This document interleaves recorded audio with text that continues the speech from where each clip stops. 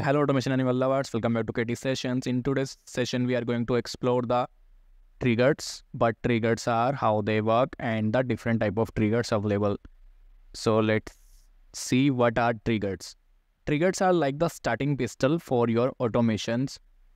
Triggers tells automation anywhere when to initiate a specific bot or task. This allows you to automate processes that react to certain situations rather than needing manual intervention. So, in general, we can say triggers enable a task to run automatically in response to an event that occurs on the computer, such as a file creation or a folder creation. In Automation Anywhere, there are a lot of uh, different type of triggers available. You can see the list here as per your requirement you can uh, select the type of the trigger and uh, then you can drag drop that trigger to this working area. So for example i have uh, created this folder. Let me show you. So i have created one folder a360 and i want to trigger my bot as soon as someone saves a file in this.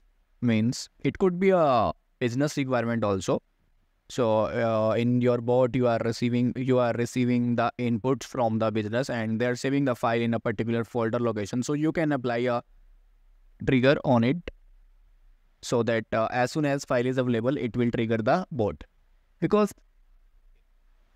if we manually check the folder again and again whether file is available or not or if we depends upon the email means after saving the file uh, the user will send the email means I have saved the file and then we can trigger the bot manually. So it is very time consuming process. We need to monitor the uh, email box throughout the day.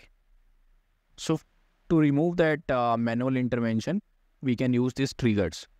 So now we will see how can we trigger uh, how can we trigger a bot when someone saves a file in this folder okay? So i will copy the path of this folder. And as we are applying the event on the folder so we will go to this files and folder triggers. And uh, i will select the folder trigger. In the properties we can uh, see we need to input the folder path. So i have given this folder path and start the bot when so we can select the event here means when a folder is created, when a folder is renamed, when a file is created, file is changed. So we can save, uh, we can choose the event as per our requirement. So I'm going to choose file created and monitor all folders under the folder path. So if you want to monitor the subfolders of this folder, we can give the, we can check this, otherwise let it be and assign to we will get the metadata of the trigger in this. So if you want that metadata means the trigger type, event type, timestamp from folder to folder. So if you need that type of details, so you can create a record type of variable and select that uh, variable here. So now I have set up a trigger means as soon as a file is created in this folder, our bot will get get trigger automatically.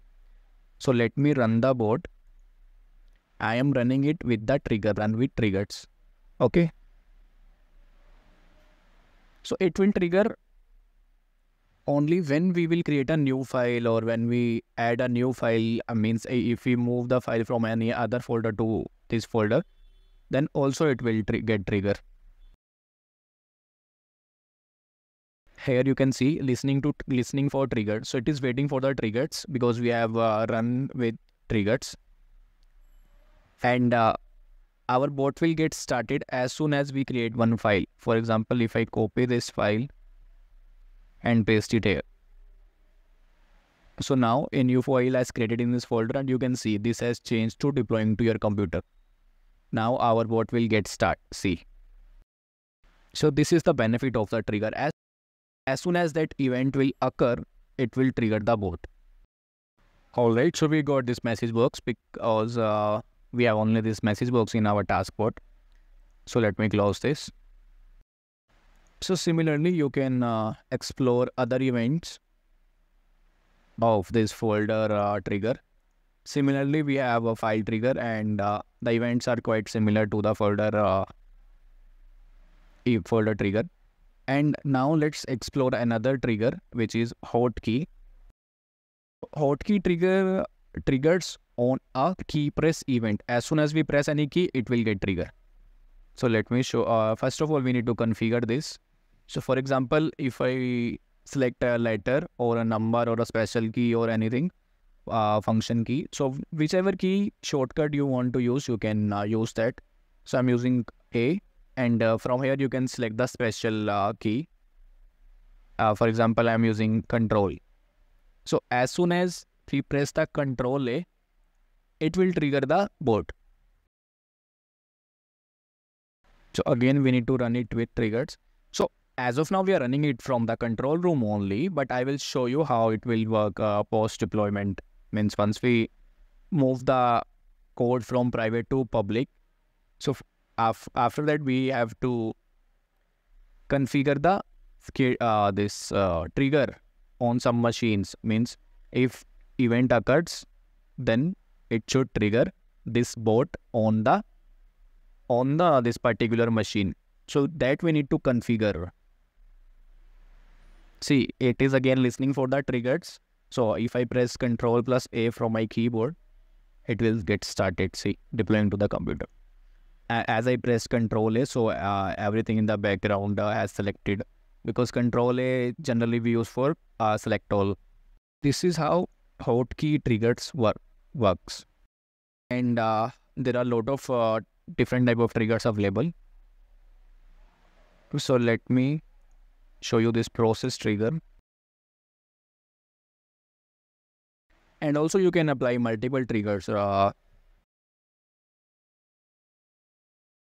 in process triggers, we can select the name of the process on which we want to apply this trigger.